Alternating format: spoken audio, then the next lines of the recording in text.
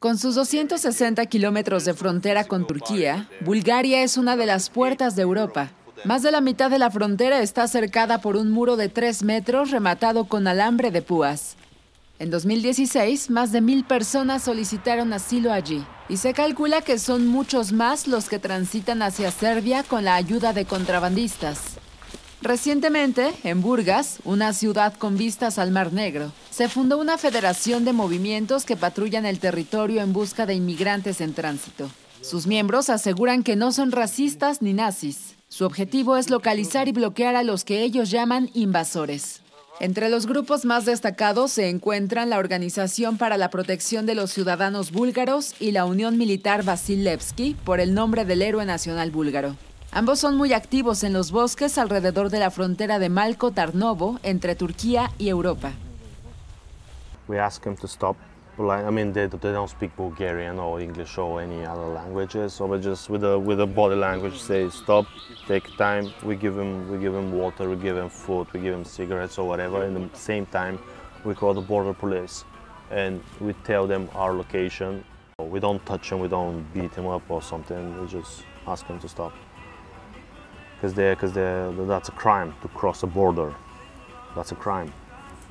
Bulgaria that's the door to Europe, but the main goal is Germany and Western Europe in, in general. Germany is the is the kitchen with the fridge full of food. They're just passing through here, but they don't want to stay here in Bulgaria because they've got nothing to do here in Bulgaria. And a majority of, of them, I don't think they can integrate the different species I mean, they're not Europeans, they're not white, they're not Christians, they come from another world.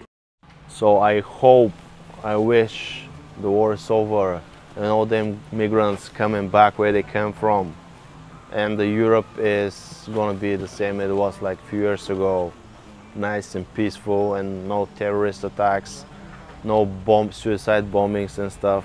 I hope this will be, that it should be this way. But from the other hand, the worst case scenario, I don't even want to describe it. It'll be hell. Because there's still there hundreds of thousands of people here.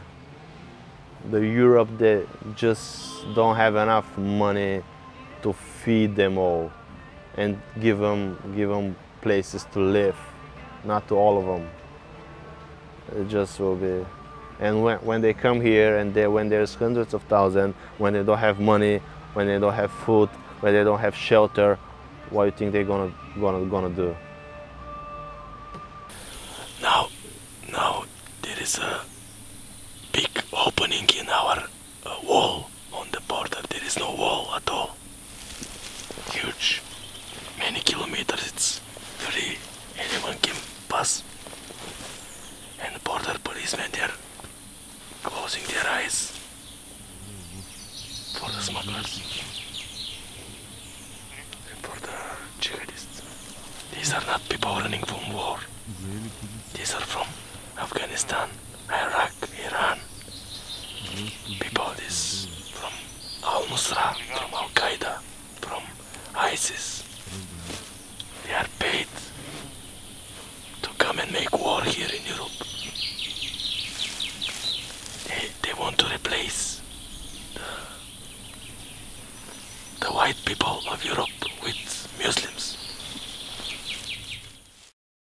Uh, nighttime when we go out uh, for uh, looking for invaders uh, we see drones drones in the sky and when this happen we cannot find any any invaders any jihadists we suppose that uh, maybe these drones are uh, Turkish or maybe uh, from sm smugglers and they help each other with these drones.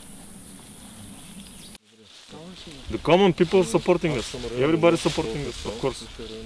And uh, a lot of the policemen also supporting us. But the other, they don't like us because they see opportunity for money. They don't think that this is invasion. They don't understand. This is war. European, wake up European, because tomorrow you'll be awakened from jihadist knife in your throat. Или от взрива. Yeah. Or from explosion in while you're watching football.